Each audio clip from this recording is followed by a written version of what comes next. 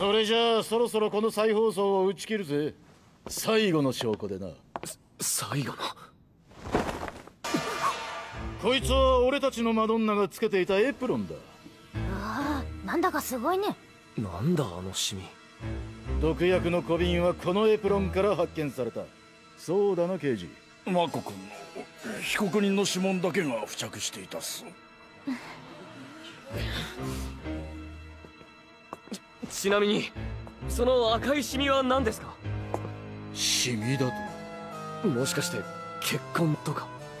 バカな。聞いてねえぜ。聞いてないも何も見ればわかるだろああのそれはそのケチャップっす。